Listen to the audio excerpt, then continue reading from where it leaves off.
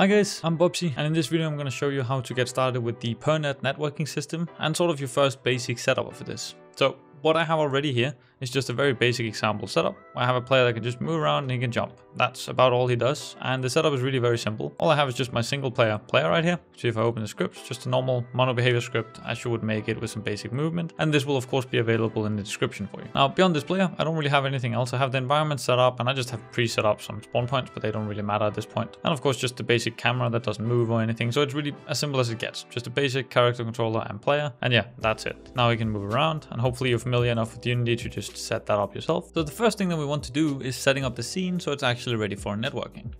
I'm just going to create a new game object here and you can call this network or network manager, whatever you'd like. I'm going to call mine network manager and we're going to add the network manager component from PurrNet to it. Now two things just happened. Of course we got the network manager component, which is expecting some network rules. But we also got the UDP transport component, which is one of the many transport layers of PurrNet.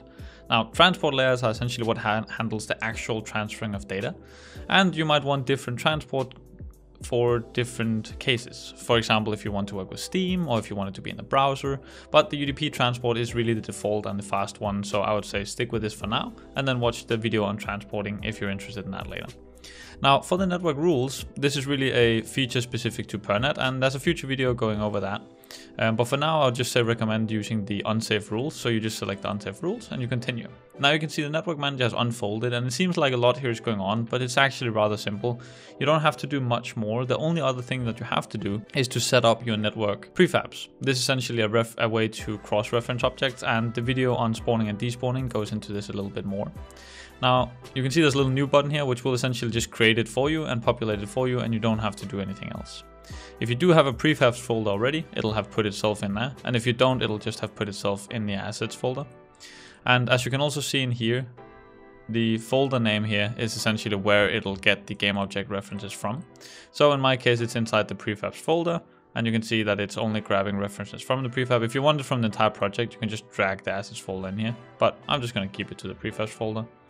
Now with the network manager set up, you can also see now it says during play mode, this instance will start as a host. If I save the scene and I go to my ParallelSync clone, if you're not familiar with ParallelSync, it's a useful tool to open multiple editors. Now if I go to the clone and I go to the network manager, you can see this will say it will now start as a client. This is because of the automatic flags that we have on the network manager itself. So you can see you can just flag it and say the editor and server builds should automatically start as server. And you can see the clones and client builds in the editors as well should start as client. So with this now, this means that when we start, we're now connected. And you can see over here, it says stop server and stop client, which means, you know, we're uh, started on both. So You can see can, I can click them as well to stop. I can click them as well to start as well. So if you'd like, you can just click none here and you'll just automatically be able to start the server manually if you want. It's very easy and handy with just these little edit tools. Now anyway, continuing on to setting up the player, all we really have to do is there's two things we want to add here. We want to add a network transform, which is what essentially handles the synchronizing of the position and rotation and scale.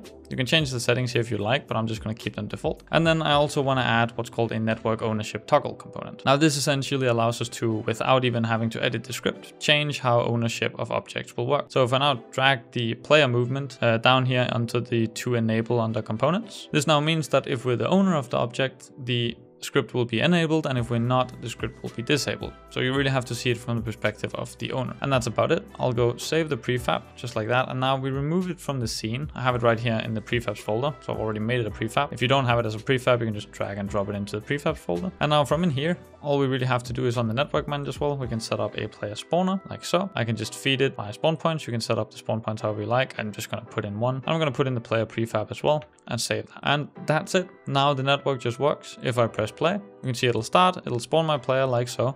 And if I go on to my client and I hit start, there you go. You can see a client spawns as well. And things are synchronized. They can hit each other. They can see each other move around. And it's really as easy as that. You can see it here, how it synchronizes. This over here is the client. This over here is the server. And yeah, it's really that easy. And yeah, the whole idea of this is really to make it very easy to work with. You can see more information on them if you'd like on the individual components. But really, this is all you need for a basic setup, synchronizing and stuff.